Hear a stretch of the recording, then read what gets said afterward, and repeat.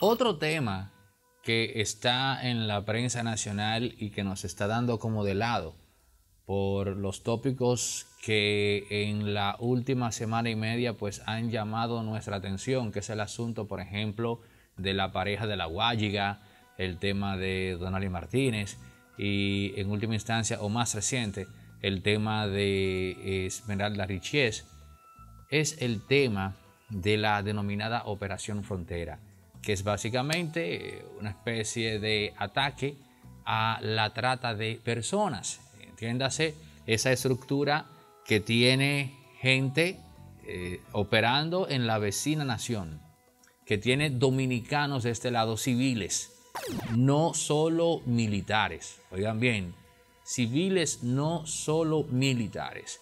Y haciendo una reflexión sobre este tema, que por ejemplo ha dado a, nos ha hecho saber que se cobran entre 4 y 8 mil pesos, que hay supuestamente casos en los cuales los nacionales del vecino país pagan hasta 3 eh, mil dólares y uno se dice, pero eh, con tanta pobreza en ese país, ¿cómo es que hay gente que logra reunir eh, semejante cifra. Pero también se ha revelado que hasta por 300 pesos los militares los dejaban pasar. Y yo quiero ser directo y escueto en este tema. Porque aquí particularmente lo que estoy viendo es una especie de jugada. Porque ese tema de la trata de seres humanos de la vecina nación siempre ha existido.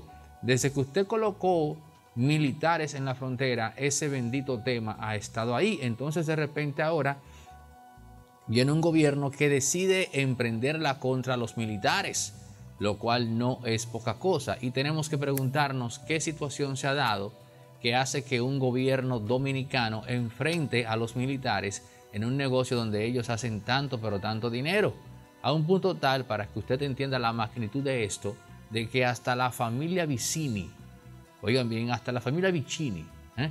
le tiene miedo a los militares en la frontera. Repito, la familia Vicini le tiene miedo a los militares en la frontera. Si hay una cosa en este país, quizás una única cosa a la cual la familia Vicini le tiene miedo, es a los militares en la frontera. Para que sepa usted el nivel de lo que estamos hablando. Pero Luis Abinader, el presidente que menos envergadura tiene hasta ahora, porque no es verdad que Luis tiene más envergadura que Danilo Medina, que Leonel Fernández y que el mismo Hipólito.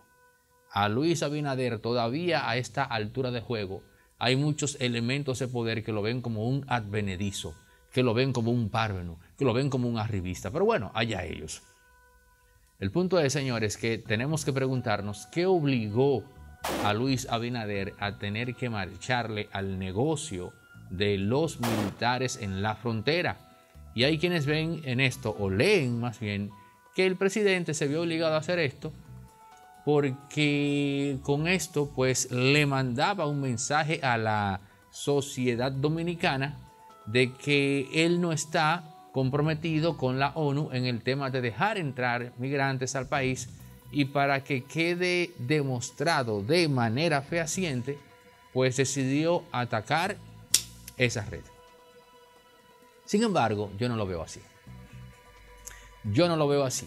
Yo aquí lo que estoy viendo es la construcción de una narrativa que busca justificar la implementación de una ley no para regular, sino más bien para penalizar a todo aquel que está metido en eso.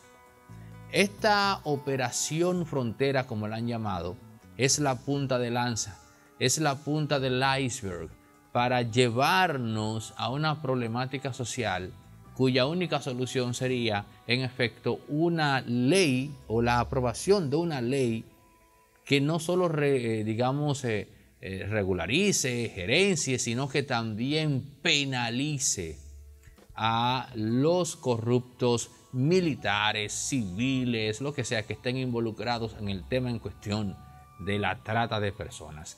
Esa es mi lectura de esta repentina, por así decir, necesidad del gobierno de tener que aplacar y acorralar la trata de seres humanos en nuestra frontera con la vecina nación. Vamos a ver, para juega ahí. Ojalá y esté equivocado, porque lo que yo más deseo como todo buen dominicano es que el presidente se haya olvidado de ese bendito proyecto de ley.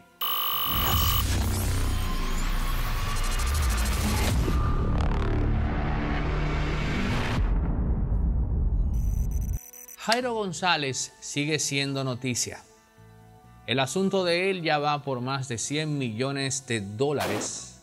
Estoy citando a la prensa local. Yo aún no puedo creer que ese muchacho haya manejado más de 100 millones de dólares. Hay gente que aparece ahí estafada con unos 200 mil dólares, otros poco más. Hay uno supuestamente de, de 60 millones. Honestamente yo diría que a esas personas también hay que, hay que invitarla a que pase porque una persona que puede darse el lujo de colocar 60 millones de pesos en las manos de otro, pues caramba, tiene que estar muy bollante. Ahora bien, han salido ahora hermanos de la congregación religiosa a la cual él asistía, que a última hora decidieron quejarse también legalmente. Y me luce a mí que esos hermanos de la iglesia son, o fueron más bien los primeros, de los primeros en ser estafados. Y es como que ni siquiera a sus hermanos de la iglesia consideró, no, con esos fue con los que primero comenzó el asunto. Ahora bien, señores, eh, oigan esto. En cuanto a este tema en particular, y esto no lo digo defendiendo a Jairo, hay gente que se dedica a esto de tratar de hacer dinero con las fluctuaciones de las criptomonedas. Ahora yo entiendo que ellos deberían jugársela al doble y tienen que comunicarle a quien invierte en este negocio que existe un gran, un muy, gran, gran, gran nivel de riesgo. En el caso de Jairo, supuestamente su empresa quebró porque dejó de pagar, pero dejó, o más bien, dejó de pagar a raíz de la quiebra. Pero la quiebra se dio porque se desplomó el precio de las criptomonedas, sobre todo de Bitcoin. Vamos a suponer que fue eso. Si él logra demostrar que fue eso, pues él la llevaría más suave. Pero si se logra comprobar que había estafa porque él tenía un conocimiento previo de que algo podía ocurrir y aún así lo ocultó, pues ya ahí él está, está comprometido, aunque hay que decir que es muy difícil. No es tan fácil usted como abogado comprobar eso que ya he descrito.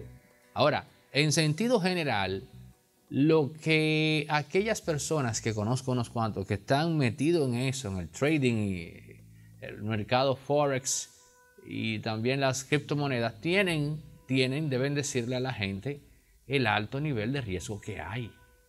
Hay que decir las cosas como son, hay que decir la verdad total. Al final del día, el que quiere ganar dinero sabe perfectamente que tiene que asumir riesgo. Todo aquel que viene subiendo de clase media baja hacia arriba, de clase baja para arriba, sabe que hacer dinero conlleva riesgo. Y digo todo esto porque tiene que quedar claro que Jairo es una cosa, mantequilla es otra, y el negocio, el mundo como tal del trading es otra. Es un asunto que está ahí, es un asunto en donde si usted se adiestra demanda mucho tiempo, eso es verdad, pero usted puede aprender lo suficiente para hacer dinero de otra forma, porque es una economía paralela que está compitiendo con la economía convencional y que hay quienes no se sorprenderían ni un día X eh, amanecemos con que el modelo estándar económico son las criptomonedas. Ahora, en el caso de Jairo, se le complica más la cosa, aunque a él se le ve muy sonriente en el Palacio de Justicia, donde lo tienen.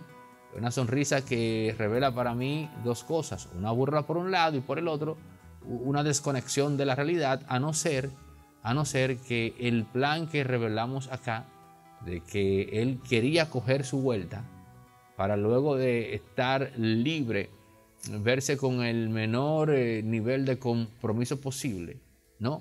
A no ser que ese plan se le esté dando al dedillo. Tenemos un apartamento en venta en los clasificados en la Avenida Independencia, kilómetro 9, en Buenos Aires del Mirador, un tercer nivel con 118 metros, tres habitaciones, la principal con baño eh, tipo jacuzzi y walking closet, habitación secundaria con amplio closet con diversos departamentos, con gavetas y organizador de calzados, un cuarto de servicio con su baño, área de lavado, escaleras de emergencia, calentador de agua, despensa para ropa blanca, hierros, toldos, shutters, cómodas escaleras, un parqueo techado, gas común por medidor y la luz 24/7, además de seguridad y portón eléctrico. Tiene una amplia sala decorada con una hermosa pared tipo mármol perla, techo en Chiroc, el comedor con una relajante vista panorámica, cocina moderna con luces, sensores de movimiento, extractor, profesional en el 829-741-3061. 829-741-3061. Pueden contactar con Charina Hernández para visitar este acogedor apartamento. Hay un fuerte rumor de que Julio César Valentín será el próximo ministro de Trabajo, eh, sustituyendo a Luis Miguel de Camps. Hay un asunto ahí rarísimo con Luis Miguel que yo todavía no logro comprender de manera plena, pero si usted lo ve a simple vista, daría la impresión de que hay empleados del Ministerio de Trabajo que se están quejando ante el Tribunal Superior Administrativo de un muy maltrato dentro del ministerio que se supone que tiene que dar ejemplo de cómo debe tratarse a una empleomanía. Eso es lo que usted puede comprender al vuelo, ¿qué, qué, qué es esto? ¿Por qué están emplazando a Luis Miguel de Camps? Ahora bien, Julio César Valentín, o más bien eh, el, vamos a ver cómo podemos presentarlo a Valentín, el fundador del partido político Justicia Social, nombre que no me agrada, ya he dicho por qué. Entonces, él va para el gobierno sustituyendo a Luis Miguel de Camps en el Ministerio de Trabajo. Miren, tomando en cuenta que Julio César Valentín tiene su propio partido, y tomando en cuenta que se llama justicia social, entiéndase que él también se ha montado en la ola progresista, lo que podemos concluir es que ese nombramiento, en caso de que se dé, le va a traer problemas a Luis Abinader. ¿Y por qué razón le va a traer problemas al presidente el nombramiento de, Valentín?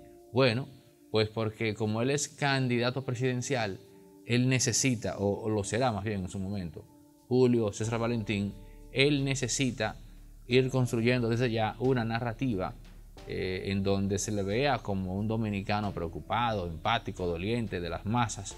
Y qué mejor plataforma, para, o sea, qué plataforma pudiera ser mejor para comenzar a construir esa narrativa que un ministerio del trabajo, que al menos en teoría se supone que representa los intereses de los trabajadores de República Dominicana.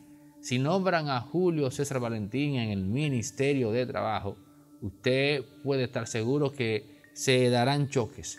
Se darán choques entre el gran empresariado dominicano y un Julio César Valentín que quiere ser reconocido por las masas, así al vuelo, como un elemento al que realmente le importa el destino, le importa la dicha de la gente.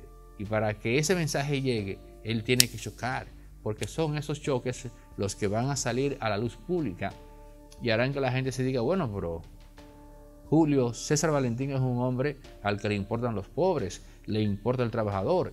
El problema con todo eso será que es evidente que a Luis Abinader eso le va a causar problemas con sus amigos los empresarios. Es por eso que digo que si se da ese rumor de que Julio César Valentín va para el gobierno a ser ministro de de trabajo, pues ya entonces, si se da eso, eso no va a terminar bien, señores, no va a terminar bien, porque muy difícil será a Julio César Valentín resistir la tentación de comenzar a jugar su rol como candidato presidencial para el 28, para el 32. O sea, va a usar esto como una plataforma, pero le va a crear problemas a los empresarios que inmediatamente se irán a quejar con Luis Abinader. Lo estoy diciendo hoy.